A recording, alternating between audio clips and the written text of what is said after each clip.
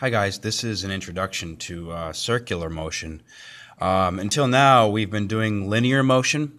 Uh, we've been looking at x and y directions, uh, but now um, we're going to take a peek at circular motion. So uh, we've considered uh, objects at rest and objects moving in straight paths.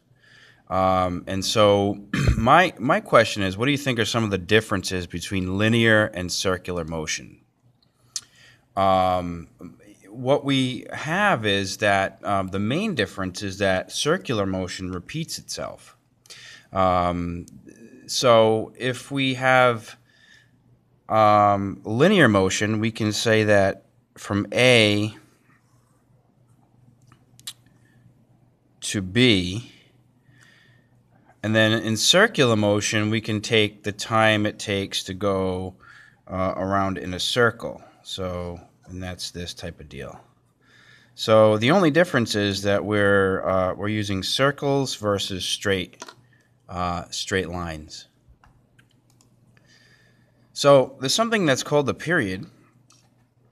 Okay, and the period is um, all simply as it is is the time it takes to go around a circle. So the time it takes to go from here all the way around back to here, and that's called the period. And the symbol for the period is a capital T, um, and the units are uh, seconds. So time to go one full circle, and it's measured in seconds. So um, if we look a little bit uh, deeper into it, um, the, the period is also equivalent to um, the, the, the time it takes, small t, over the number of trips around a circular path. So um, the first question I have for you is if you have a clock what is the period of the second hand on the clock? Okay, so here's the second hand. Starts at 12, goes all the way around. Uh, what is the period? And, and we said the period is a time to go one full circle. Um,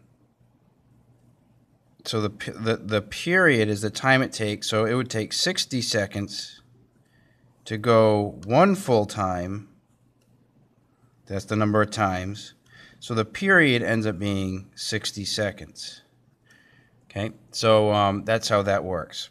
Now, if I said that, uh, let's change it to the minute hand. Okay, the period of a minute hand. It equals to the time it takes to go around. Uh, we know just once. So it takes 60 minutes to go around once. So the, the period of a minute hand would be 60 minutes. Okay, and that's as, that's as simple as it gets for period, folks. Uh, period is just the time it takes to go around one full circle. Okay?